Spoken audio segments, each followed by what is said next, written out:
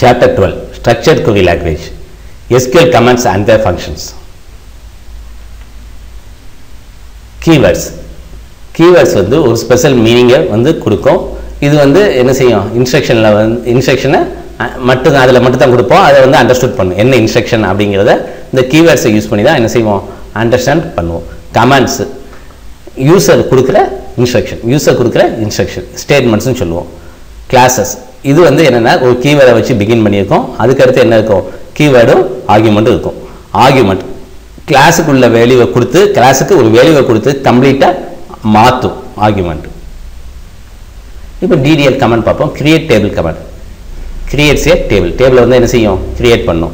Table create பண்ணும்போது காலம்ஸுக்கு என்ன செய்வோம்? நேம் பண்ணுவோம் காலம்ஸுக்கு நேம் கொடுப்போம்.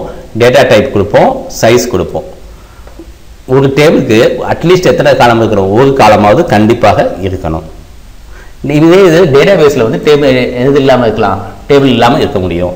ஆனால் ஒரு டேபிளுக்கு கண்டிப்பாக என்ன இருக்கணும்? ஒரு காலம் கண்டிப்பாக இருக்கணும். இப்போ கிரியேட் டேபிளோட சிண்டாக்ஸ் பார்த்தோம்னா கிரியேட் டேபிள் டேபிளோட நேமு தென் வந்து column name data type size size சில இது கொடுப்போம். கொடுக்காமனாலும் சில இது கொடுத்துருப்போம். இப்படியே எத்தனை காலம்னாலும் கமா கமா கமா வச்சு செப்பரேட் பண்ணி எத்தனை காலம்ஸ்னாலும் கொடுப்போம். கொடுத்துட்டு லாஸ்ட்டில் என்ன செஞ்சுருவோம்? செமிக்கலாம் வச்சு ஃபினிஷ் பண்ணிடுவோம்.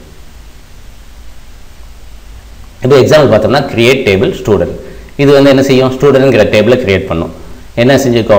Packet ஃபீல்டோட name data type comma admission number integer இண்டிஜர்ங்கிறதுனால size specify பண்ணல.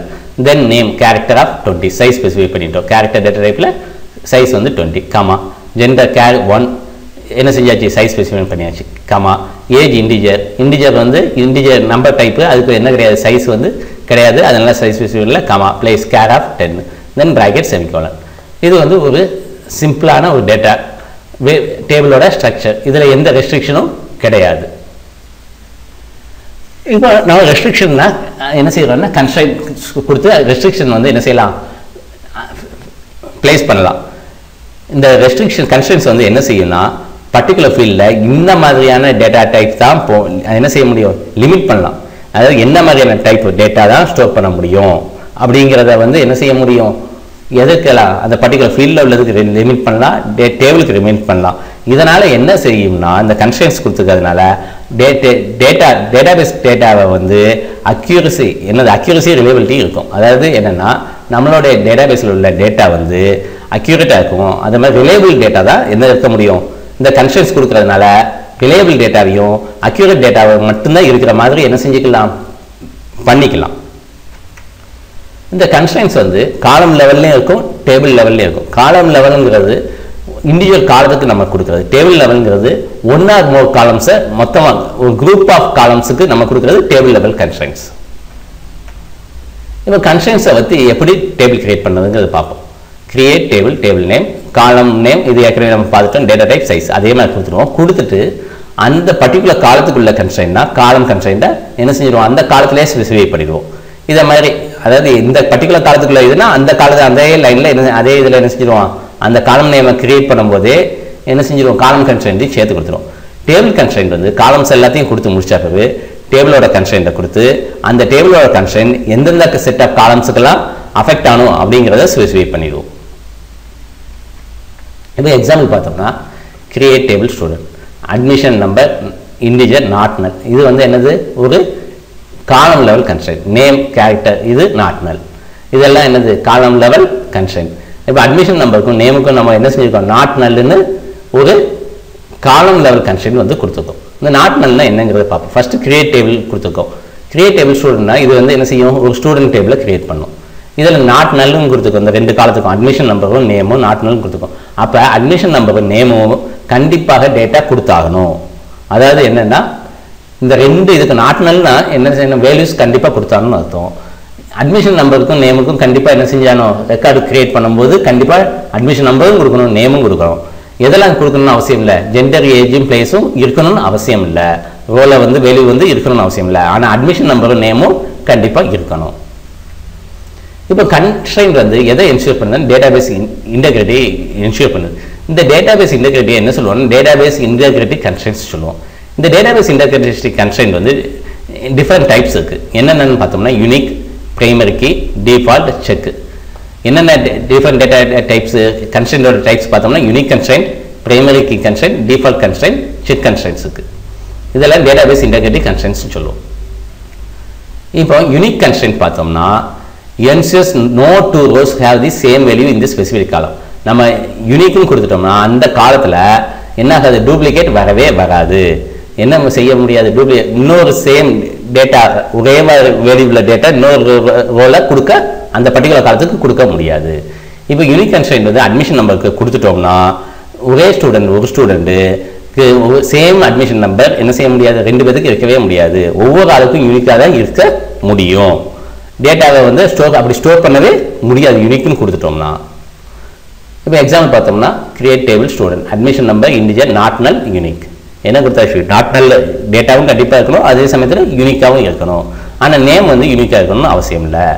ஆனால் நாட் நல்லாக இருக்கணும் அப்படின்னு நம்ம கொடுத்துட்டோம்.